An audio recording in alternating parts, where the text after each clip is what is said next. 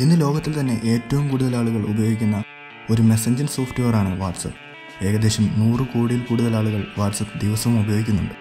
കേരളത്തിലും അതേപോലെ തന്നെ ഒരുപാട് പേർ വാട്സപ്പ് ഉപയോഗിക്കുന്നുണ്ട്. കുടുംബത്തോട് സംസാരിക്കാനും കൂട്ടുകാരോട് സംസാരിക്കാനും നമ്മളുടെ ഇമ്പോർട്ടന്റ് ഫയൽ സെൻഡ് ചെയ്യാനും ഈ ആപ്ലിക്കേഷൻ നമ്മൾ യൂസ് ചെയ്യുന്നുണ്ട്.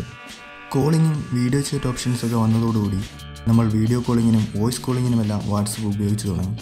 എന്നാൽ മെസ്സേജ് അയക്കുന്നവർക്കും മെസ്സേജ് ലഭിക്കുന്ന ആൾക്കും അല്ലാതെ വേറെ ആരെങ്കിലും ഇത് കാണുന്നുണ്ടോ എന്ന് നമ്മൾ ഇതുവരെ ചിന്തിച്ചിട്ടുണ്ടോ? ഈ സംശയങ്ങൾ തീർക്കുക എന്നാണ് ഇന്നത്തെ വീഡിയോയിലൂടെ ഞാൻ ഉദ്ദേശിക്കുന്നത്.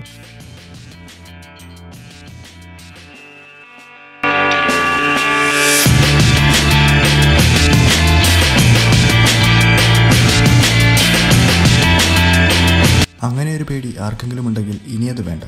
കഴിഞ്ഞ വർഷം വാട്സപ്പ് നടത്തിയ ഏറ്റവും പ്രധാനമായ ഒരു അപ്ഡേഷനായിരുന്നു എൻ ടു എൻ ഇൻക്രിപ്ഷൻ നമ്മുടെ വാട്സപ്പ് ചാറ്റ് തുറന്നാൽ കാണാം. Message and chats now secured with end to end encryption ഇതുകൊണ്ട് ഉദ്ദേശിക്കുന്നത് എന്താണെന്ന് വെച്ചാൽ നമ്മളുടെ ചാറ്റും കോൾസും എല്ലാം സെക്യൂർഡ് ആണെന്നും അത് അയക്കുന്ന ആൾക്കും ലഭിക്കുന്ന ആൾക്കും മാത്രമല്ലാതെ മറ്റാർക്കും കാണാൻ കഴിയില്ല എന്നുമാണ്. വാട്സപ്പിന്റെ കോ ഫൗണ്ടറായ ജോൺ കോം തന്റെ ഫേസ്ബുക്ക് പേജിലൂടെയാണ് ഈ വാർത്ത അറിയിക്കുന്നത്.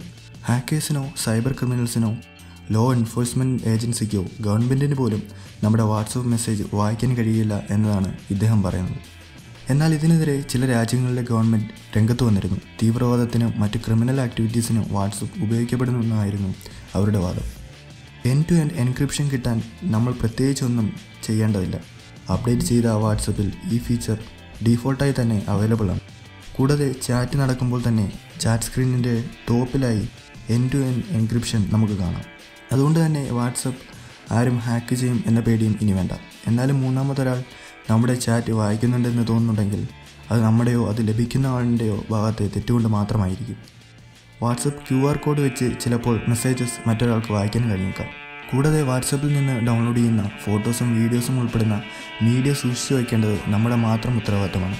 വാട്സപ്പ് എങ്ങനെ സെക്യൂർഡ് ആക്കി വെക്കാം എന്നതിൽ നമ്മൾ ശ്രദ്ധിക്കേണ്ട കാര്യങ്ങളെക്കുറിച്ച് മറ്റൊരു വീഡിയോ ചെയ്യുന്നുണ്ട്. നിങ്ങൾക്ക് ഇതിനെപ്പറ്റിയുള്ള സംശയങ്ങൾ കമന്റ് ബോക്സിലിടുക നിങ്ങൾക്ക് ഈ വീഡിയോ ഇഷ്ടപ്പെട്ടെങ്കിൽ ലൈക്ക് ചെയ്യുക. കൂടുതൽ മലയാളം ടെക് ട്രാവൽ വീഡിയോസിനായി ടെക് വീഡിയോ മലയാളത്തിന്റെ ഈ ചാനൽ സബ്സ്ക്രൈബ് ചെയ്യുക. മറ്റൊരു വീഡിയോയുമായി കണ്ടുമുട്ടുന്നിടം വരെ ബൈ